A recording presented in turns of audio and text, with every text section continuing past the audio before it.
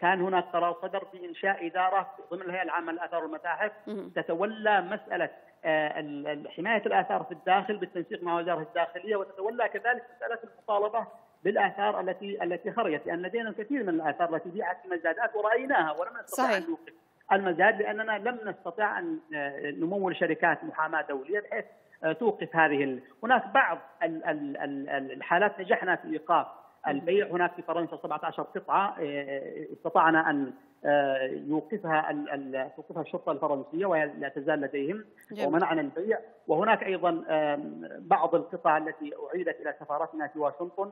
أما بقية المزادات في في لندن أكثر من ثلاثة إلى أربع مزادات في الفترة الأخيرة في الشهور الأخيرة.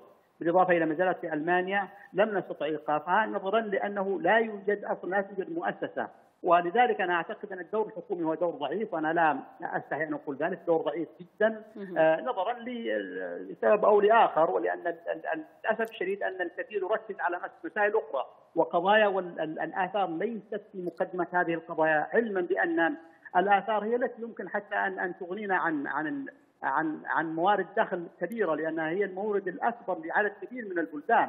فما بالك باليمن الذي فيه آثار طبيعية يعني يعني مزارات طبيعية وتاريخية ومناطق أثرية، لكن أنا أقول بانه ينبغي أن يظل هذا الموضوع سائدا في وسائل الاعلام، ينبغي أن لا يفارق الشاشة، ان لا يفارق الصحيفة، ينبغي أن يظل مانشيت كبير في كل الصحافة، من أجل الضغط على الأجهزة الحكومية، من أجل أيضا توعية المواطن لاننا بحاجة إلى توعية المواطنين أنفسهم.